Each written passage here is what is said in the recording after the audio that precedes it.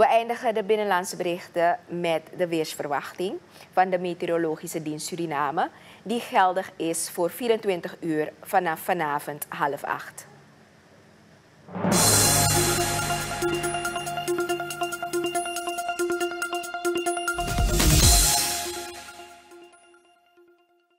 Tijdens de avond en nacht zijn er nog enkele buien mogelijk in het binnenland, terwijl het in de nacht overwegend droog blijft.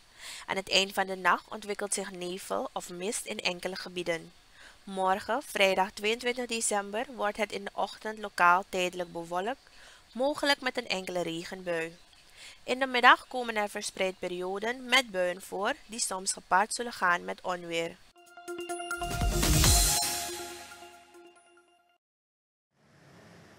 De meteorologische dienst waarschuwt dat er morgen 22 december geen bijzonderheden zijn. Dat waren de binnenlandse berichten. Blijft u afgestemd voor het buitenlands nieuws.